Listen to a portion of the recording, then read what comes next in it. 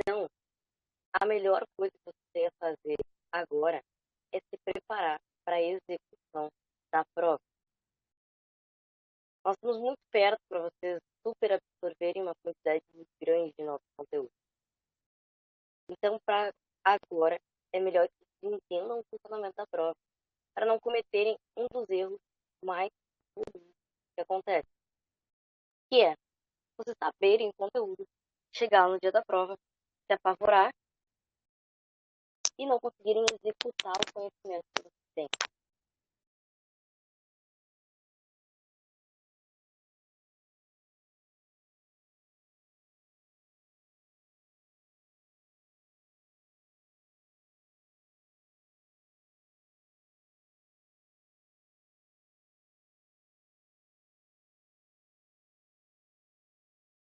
Lembrando a todos que a gente está exato 13 dias da execução da prova. Gente, a primeira coisa, a prova é social. Vocês têm que lembrar disso. O Enem está avaliando uma medida de análise da sociedade. Basicamente, o Enem é o Exame Nacional do Ensino Médio. O Enem avalia a capacidade de adaptação ao conhecimento que os alunos do ensino médio têm. Então, o que você tem que pensar quanto a isso? Estou em dúvida entre duas alternativas. Doutor, o que, eu faço? Comecem a pensar o que se enquadra melhor num aspecto social. Comecem a pensar, por exemplo, o que é melhor para a sociedade, o que, que se encaixa melhor em um plano de um aspecto, mesmo que utópico da sociedade. Agora é a hora de vocês olharem as provas que passaram. Não comece a se desesperar também de fazer simulado, simulado, simulado. Vocês já vão fazer 10 horas de prova cada é uma semana. Não surtem. Mas olhem as provas. Vocês vão ver que vai ter questão sobre vacinação, vai ter questão sobre pobreza, analfabetismo. A redação em si é uma análise de uma crise na sociedade. Então, vocês precisam se concentrar no fato de que as questões são feitas para isso. Logo, as alternativas também são feitas para isso. O que, que eu fiz? Vocês, eu vou enviar para vocês ali no grupo, no fim da aula de hoje, um livro uma apostila com todas as provas de linguagem do Enem desde o ano de 2015. Para vocês poderem dar uma olhada nas questões, poderem dar uma olhada de como o Enem faz as questões. Eu não sei se todo mundo aqui já viu a prova, já fez a prova. E, gente, infelizmente, é muito mais perigoso para vocês agora falhar em execução. O que vocês sabem, vocês sabem não entrem em noia com isso. De, e se eu chegar lá e esquecer? Isso não acontece. Pode chegar, acontecer é chegar lá e ficarem com medo, ou assustados, ou nervosos, e não conseguirem executar esse conhecimento que vocês têm. Então, primeira coisa, tanto a redação, inclusive a redação, chegou lá na redação, o assunto é pena de morte sei lá, a crise do judiciária no país. Não é só porque vocês acham que alguém deveria morrer que vocês podem dizer isso em voz alta. Pensem nisso o tempo todo. Não é só porque algumas coisas acontecem que a gente pode repeti-las em voz alta. O mesmo entra em argumentação. Tipo, ir lá e falar na redação que política é corrupta. Que o presidente é corrupto.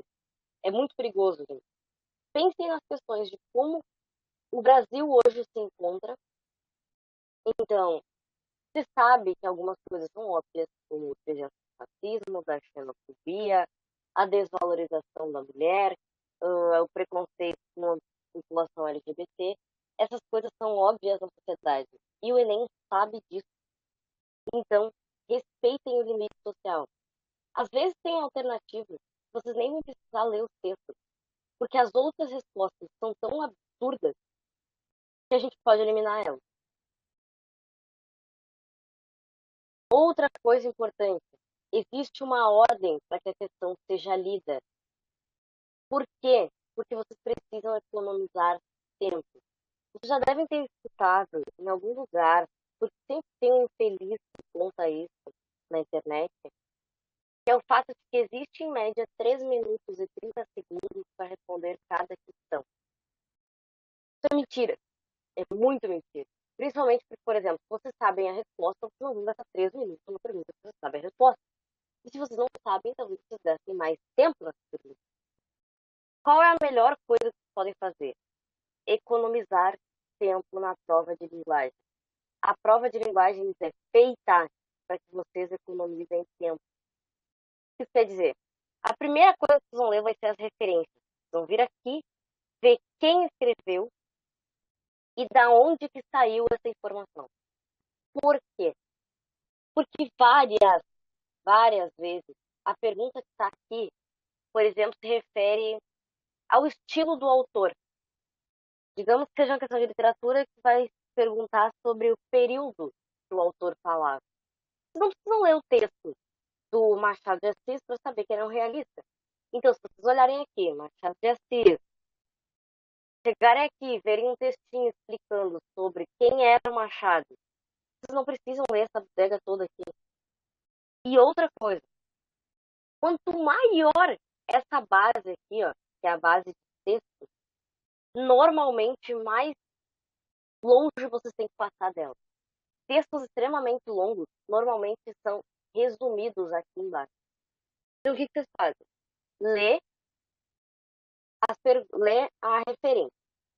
Da referência, vocês vão para a pergunta, para vocês saberem o que, que vocês estão procurando no texto.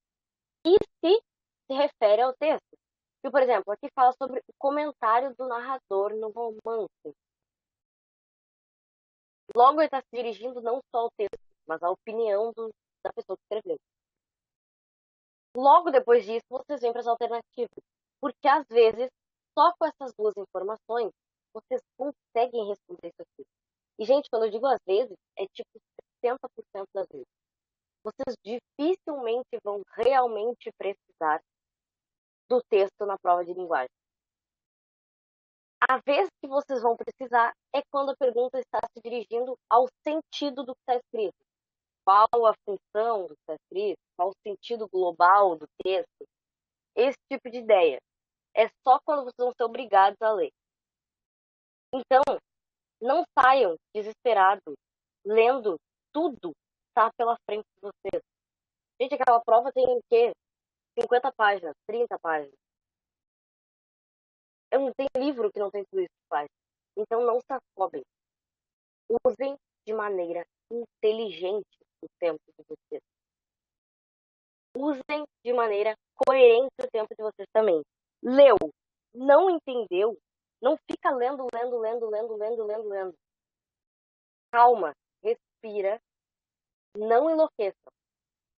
Existe uma ordem para tudo que acontece na prova do Enem, porque alguém pensou nessa prova. Essa prova não é feita ao acaso. Tudo aqui é feito e pensado para que exista de alguma forma função. Que nos leva a outro ponto. Se vocês não sabem a resposta, não gastem tempo tentando entender o que vocês não entenderam. Gente, a prova dura 4 horas e meia ou 5 horas e meia. O cérebro de vocês precisa descansar. E se vocês não conseguem descansar e forçam ele além do necessário, vocês acabam se prejudicando. Então, é meio que uma questão de relax. Vocês precisam relaxar. Sora, é impossível. Eu sei. Eu já estive no lugar de vocês. Há não há muito tempo. Tá, há um tempo considerável. Mas eu sei como é. Só que vocês precisam entender que existe alguém fazendo essa prova pensando em deixar vocês nervosos. Então, se vocês não entenderam o texto, marca com X, uma bolinha, uma estrelinha, faça o símbolo que vocês quiserem, iluminar, se tanto faz. Marquem essa questão e pulem. Vão adiante. Depois vocês descobrem o que está acontecendo. Porque quanto mais vocês ficarem insistindo em algo que o cérebro de vocês não está assimilando, mais nervosos vocês ficam, mais confuso fica o texto e mais desatentos vocês vão ficar para a função original do texto. O que eu quero dizer com isso? Quero dizer, por exemplo, se vocês não entendem o que está escrito, tipo, ah, é um texto difícil, é uma questão sobre Guimarães Rosa, sobre Milton Ratum, que são dois autores regionais que usam uma linguagem que não é comum para vocês, é mais difícil compreender. E se vocês ficarem insistindo naquilo, vocês vão começar a se confundir. Porque vocês vão começar a se forçar a entender. E, gente, o cérebro humano faz isso. Ele finge que entende algumas coisas. Só para que vocês se livrem daquilo.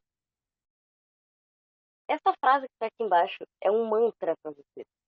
Vocês vão errar mais por desatenção do que por desconhecimento. Isso vale para a prova de linguagem, para a prova de matemática, para a prova de física, para a redação. Vocês vão errar mais por sem querer confundir um sinal do que por não lembrar da forma. Vocês vão errar mais por aquele acento que vocês pularam para ir por depois do que por não saber escrever uma palavra. Então, é preciso que vocês economizem a energia do cérebro de vocês é preciso que vocês economizem o gasto que vocês vão ter na prova.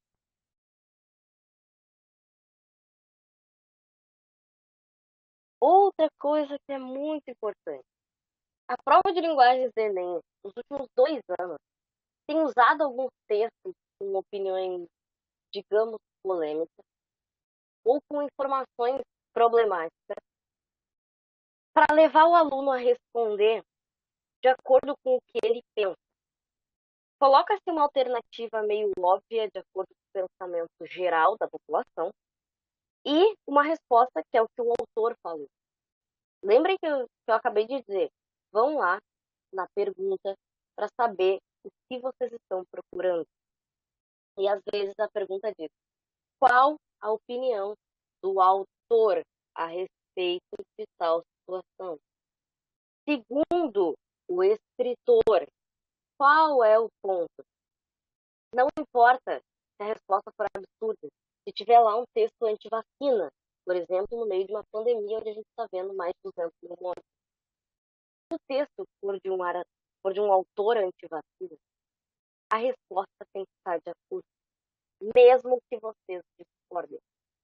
A opinião de vocês só é relevante e é extremamente relevante na redação. Todavia, para nenhum professor da equipe de redação me matar, nem toda opinião que vocês têm pode estar na redação.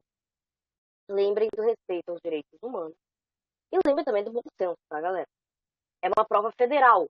Então, vocês não podem estar apontando o dedo para o presidente, para o vice-presidente, para o presidente do STF. É muito complicado acusar pessoas específicas.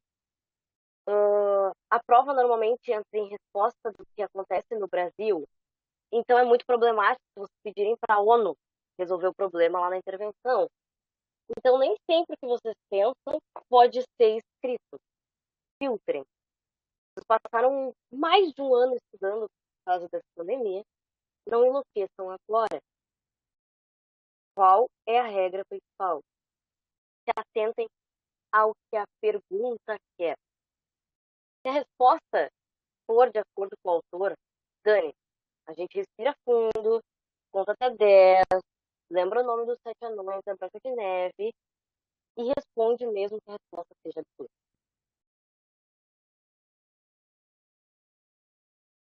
É essencial que vocês saibam fazer isso aqui. E é exatamente por isso que eu fiz uma apostila do tamanho do mundo que me custou nenhum descanso durante as férias de vocês, mas que, principalmente, o motivo pelo qual eu vou entregar todas as provas unidas para vocês é vocês aprenderem a fazer isso. Identificar as questões. Por quê? O Enem funciona com uma coisa que nós chamamos de CRI. a teoria de resposta única. Não necessariamente vocês responderem errado uma questão dá ou não dá ponto para vocês.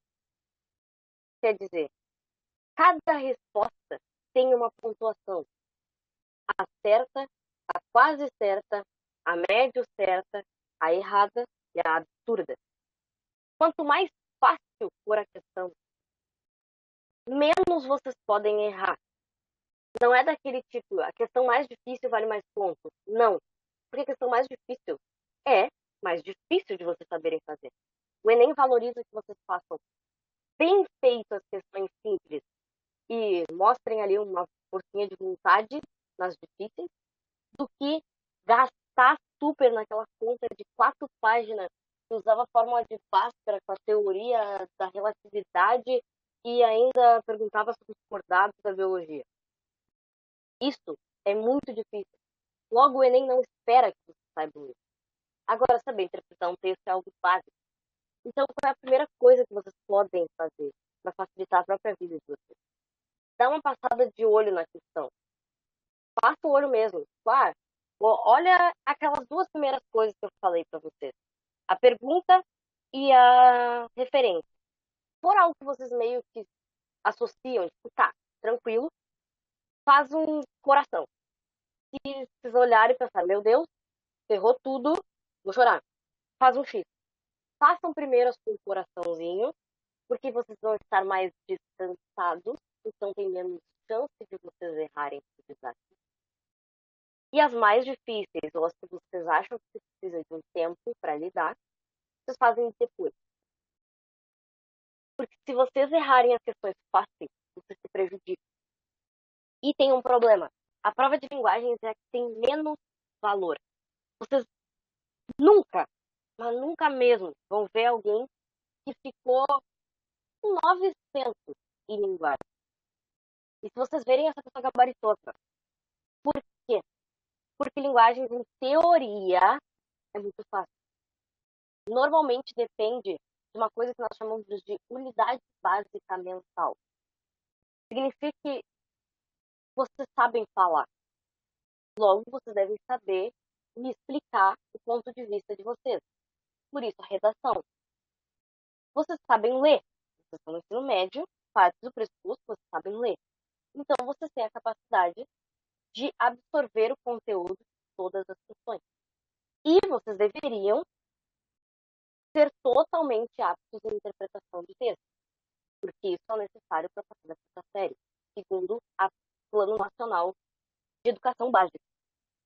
Então, em tese, a prova de linguagens é a mais simples, porque ela parte de coisas que vocês naturalmente já sabem, pela própria existência de vocês Então, se vocês racharem na prova de linguagem, gente, é morte súbita.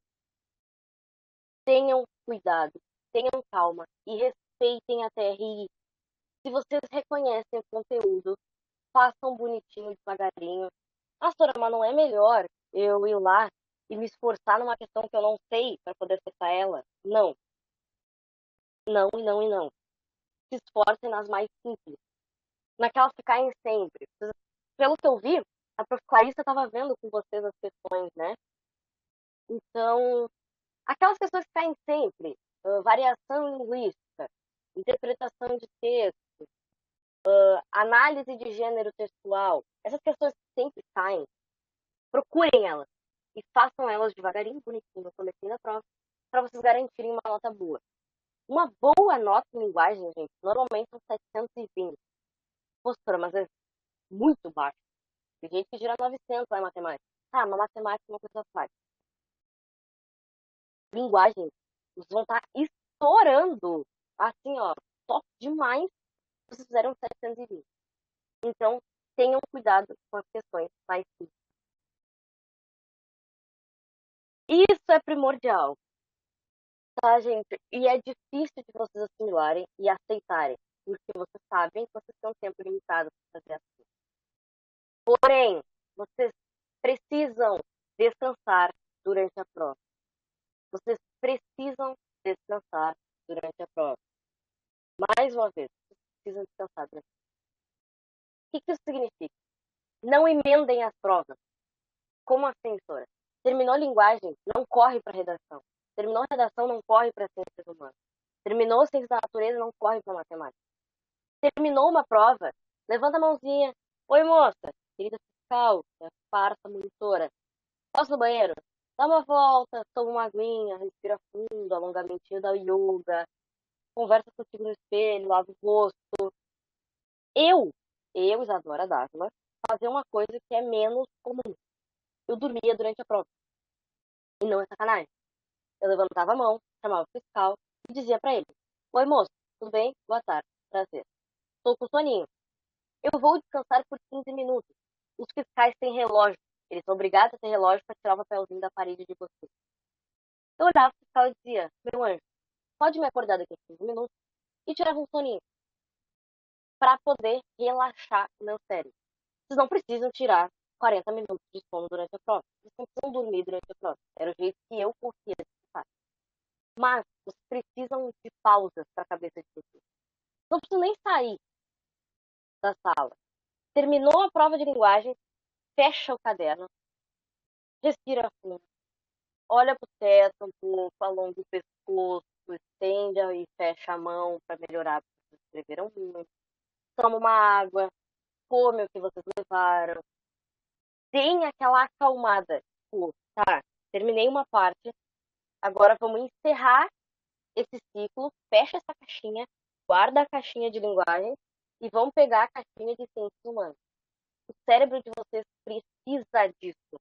Não é uma invenção minha. O cérebro de vocês precisa abrir e encerrar conteúdo. Ele precisa entender que as coisas estão separadas. E para isso vocês precisam desse tempo. Para vocês mesmos entenderem que vocês estão encerrando as informações. Coisas importantes que a gente tem que conversar aqui. Alternativas. Não se noiem quanto a alternativas iguais. Como assim, senhora? Gente, o Enem não é que nem a prova da URG, que dá lá 5 alternativas A, 5B, 5C, 5D e 5E.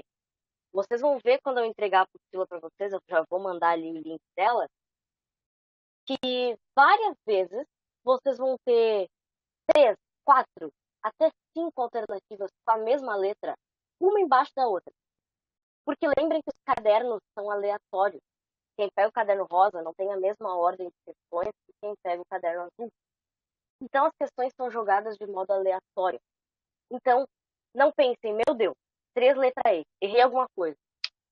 Fiquem confiantes no que vocês estão fazendo. Segunda coisa, prometam para mim, pelo amor de Nossa Senhora do Super Elétrico, que vocês vão resistir a ver o gabarito. Não vejam o gabarito. O gabarito do Enem, de novo, não funciona como gabarito vestibular. Vocês não sabem qual questão vale mais e vale menos. Vocês não sabem quanto cada questão valia. As questões não valem a mesma coisa. Tem questão que vale 30,50 e tem questão que vale 55. Vocês não sabem quanto cada uma delas vale, nem quanto cada alternativa vale. Aí vocês vão lá olhar as respostas e pensam, ah, eu só acertei 30, não vou passar. Calma, tu não sabe. Se faz 30 que tu acertou, era 30 fácil. E tu vai fazer mais notas do que o cara que acertou 35. Porque ele acertou várias difíceis. E tu errou, que não acertou as fáceis. Isso acontece. Além disso, pelo amor de Deus, olhem o que vocês vão comer nos dois dias antes da prova e durante a prova. Professora, por que dois dias? Gente, o organismo de vocês responde a algumas coisas por muito tempo. Provavelmente alguma vez na vida vocês conhecem alguém já tiveram intoxicação alimentar. Vocês passam, tipo, comeram ali um dogão no centro, passam três dias morrendo. Por vocês passam tanto tempo morrendo? Porque o corpo de vocês precisa se sentir seguro de novo. Então, tomem cuidado. Não precisa fazer a pugliese, tá? Ficar comendo alface três dias durante a prova. Mas evitem comer coisas esquisitas, comer na rua. Evitem aquela promoção do iFood, que tá lá, cinco hambúrguer por 20 reais. E evitem excesso de alimento na prova, alimentos gordurosos e alimentos que dão taquicardia. Evitem café, evitem chocolate branco, evitem refrigerante muito forte ou excesso de refrigerante. Não leva uma 600, leva uma latinha, leva uma coquinha. Não leva uma barra de chocolate, leva uns 10 bits. Porque vocês até precisam da insulina para se manter acordadinho bem. Mas, tipo, não leva duas latas de Red Bull, ficar loucão na prova, parecendo que tirou pó antes de fazer a prova. Chimarrão, eu só não sei se pode agora. Porque eu lembro que a gente teve um ano que foi proibido, tá?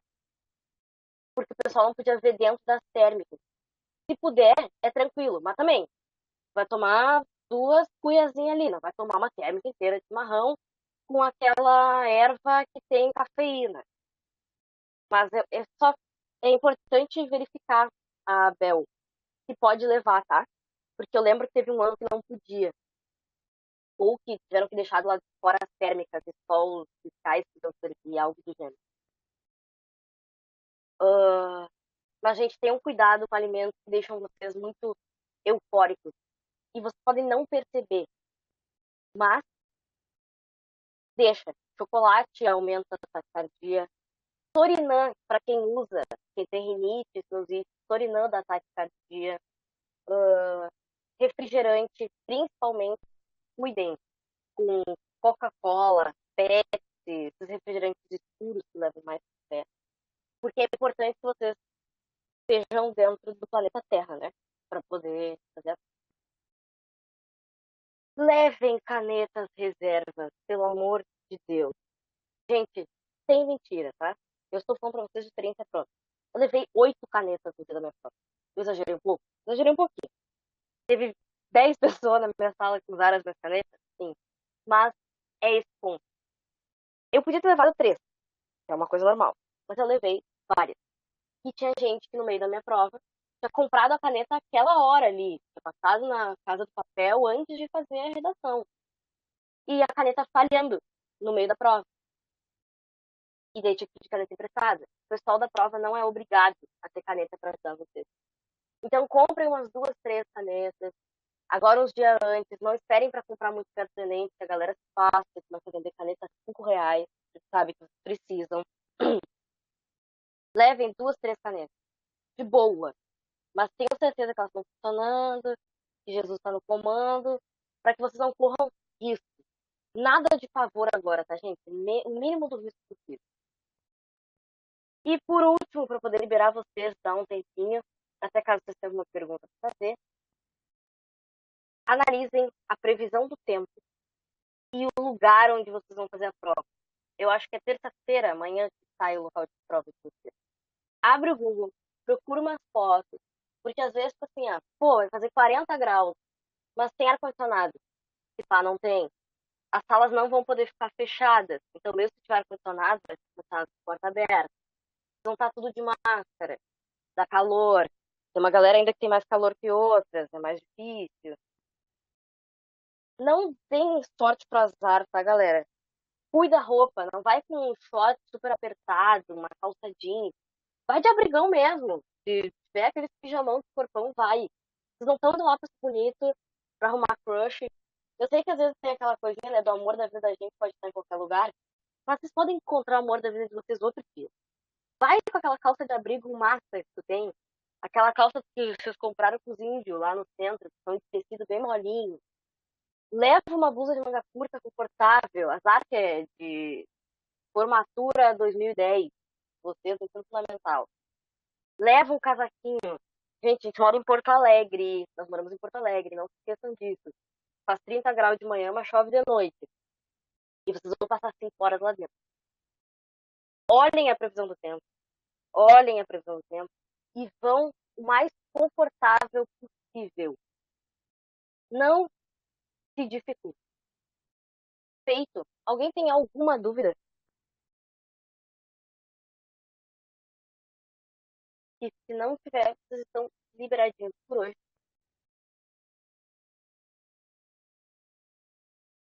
E eu já vou eu já vou mandar ali no grupo para vocês. Eu só vou colocar no Drive antes, né, para poder passar o link para vocês.